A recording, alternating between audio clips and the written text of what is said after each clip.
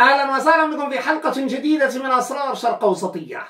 لأول مرة تمر عبر أجواء رومانيا طائرة البي 52 اتش النوويه وهذه رسالة يتأكد من خلالها أن الولايات المتحدة الأمريكية لأول مرة تصل إلى البحر الأسود منذ بداية العملية العسكرية أو ما يسمى بالحرب الأوكرانية الروسية.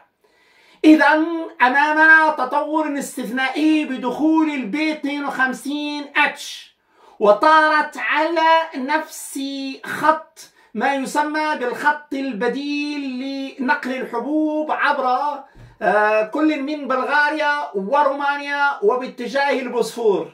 إذا كان هذا نوع من الرسالة ضد روسيا. روسيا التي قصفت أوديسا وقصفت أيضا ريني وكل ما يتعلق بالقواعد النهرية أو الموانئ النهرية التي تستخدم في هذه العملية.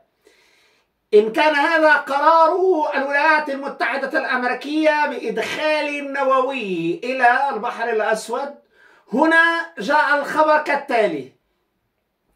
وكالة الأنباء الروسية قالت بأن البي 52 طارت ولأول مرة منذ 2022 أي إلى مرحلة ما قبل العملية العسكرية كما ذكرنا.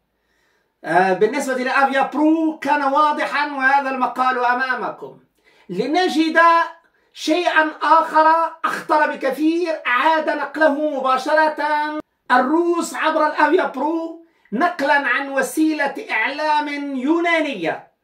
واليونان هم أقرب بكثير إلى القواعد الأمريكية والمصادر الأمريكية وهنا تأكد أن مثل هذه الطائرة طارت بمحاذاة القرم وقالت بأنها طارت على القرم أيا كانت الترجمة لأن في الترجمة هنا حرفية الصحافي فعلى كل حال الأمر تعلق بطيران في البحر الأسود وهذا هو الشيء المؤكد. الرد كان من روسيا بقطع الجي بي اس مباشرة على مناطق بما فيها وعلى أساس هذا الإجراء شمل كلا من القاعدة البولونية. سيزو وكونستانا أيضا القاعدة البحرية. وهكذا فإن القاعدتين المهمتين البحرية وأيضا الجوية المهمة للحلف كان واضحا أن الحرب اليوم جرت بإدماج أمرين أساسيين. الأمر الأول أن هناك منظومة لأول مرة تستخدم في الحرب الإلكترونية غير مسبوقة. وهذا الذي عطل لل 24 ساعة الأخيرة عطل كل الدرونات البحرية وغيرها. إذا دخول نظام جديد للحرب الإلكترونية الروسية. وهذا أمر مؤكد من هذه القصاصة. ثاني مسألة أن هناك تعطيل مقصود الجي بي اس شمل جميع المناطق بما فيها القواعد المواجهة ضد الناتو لأن الولايات المتحدة الأمريكية طارت بالبي 52 اتش فكان الرد آه، أساسا من الحرب الإلكترونية وبالتالي فإن جميع الأهداف في القرم لأن القصد كله الآن في القرم. آه، من جهة أولى فإن الولايات المتحدة الأمريكية تحاول أن تتجاوز من جهة أولى كل ما سمي بالإحداثيات إحداثيات الحرب أو العملية العسكرية كما تسميها الخاصة بأوكرانيا. ومن جهة ثانية فالولايات المتحدة الأمريكية كانت تطير بالدرونات فأصبحت تطير اليوم بمقنبلات آه، استراتيجية نووية. إذا أمامنا هذا التطور الثاني. التطور الثالث الرد الذي حدث من الروس عبر تسخير نظام جديد للحرب الإلكترونية وعبر إبطال الجي بي إس في القواعد الأساسية التي يستخدمها الناتو. وهنا يمكن طرح سؤال مباشر حول الوضعيات الجديدة غير المسبوقة الآن أمام هل هذه العملية الإلكترونية اليوم في هذه الحرب موجهة إلى المقنبلة؟ هذا هو الشيء المؤكد.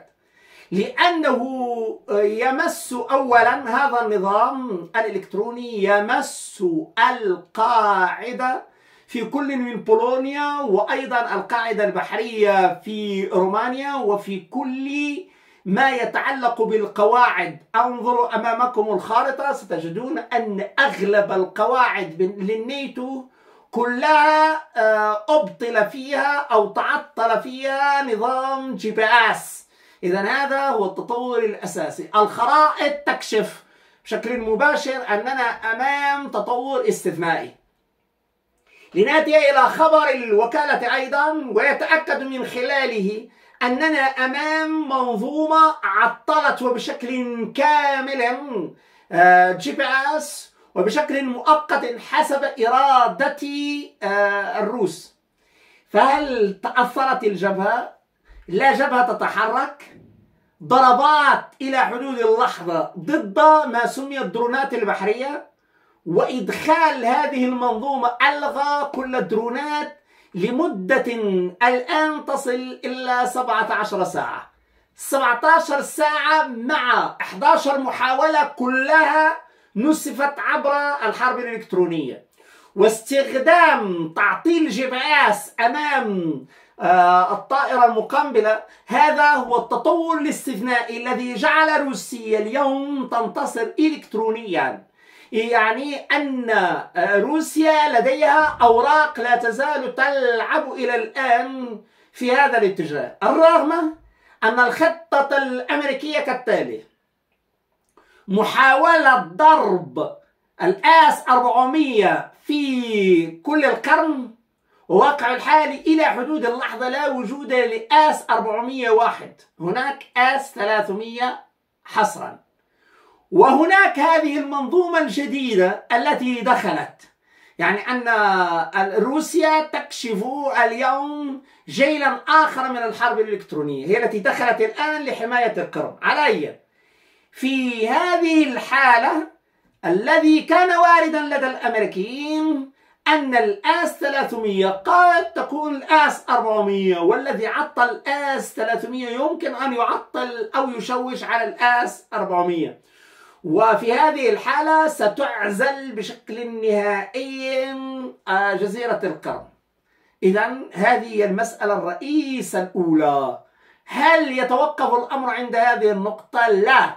بل إن إبعاد الآس 300 من القرن والآس 400 بالتبعية سنجد الآف 16 مباشرة آه، لعزل القرن هذا هو آه، التصور الأمريكي الذي أصبح الآن معلقا لسبب رئيس لأننا أمام آه، صعوبة كبيرة وتعقيد أكبر في هذه الزاوية على وجه التحديد.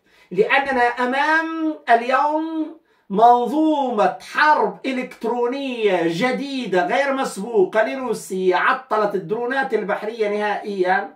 وموجهة للمقنبلات لأن الأمريكيين عندما فوجئوا بقطع الجي بي إس طاروا بالنووي فكأن الأمر يستدعي مثل هذا الإجراء فطاروا ولكن تحت التحفظ بشأن رومانيا وحسب. لكن بالنسبة لليونانيين يعتقدون بأن هذه الطائرة دخلت البحر أسود وإلى مقابل القرم وقالوا بأن طارت على القرم. وبالنسبة لهذه المبالغة هي محدودة بشيء واحد أن الجي بي إس تعطل وبالتالي فإن الإجراءات الاستثنائية لجميع المقاتلات وجميع الدرونات الجوية والبحرية على حد سواء. كل ذلك تعطل وأصبح الأمر كأننا في حرب نووية أمام إجراءات أخرى لهذه الحرب بعيدا عن كل ما نعرفه. ولذلك طارت هذه الطائرة باستخدام لأول مرة حالة طوارئ مباشرة في الاتصال. يعني كأن كل شيء تعطل وال GPS تعطل كل شيء تعطل. وهذه الطائرة تريد أن تستكشف الوضع. فهل طارت على القرم أم لا؟ المؤكد لا لأن ال GPS نفسه كان في حدود القرم. لذلك فلم يكن واضحا إن تصرف آه هذا الوضع الجديد مع آه التأطير الذي يسري به الأمر. وهذا الذي يعطينا آه شيئا استثنائيا بجميع المقاييس. أننا دخلنا في جيل جديد من الحرب الإلكترونية دفعت الأمريكيين إلى تحريك ما سمي باتصالات الحرب النووية وهذا الذي أربك الأمريكيين في هذا الظرف على وجه التحديد. شكرا جزيلا وإلى اللقاء.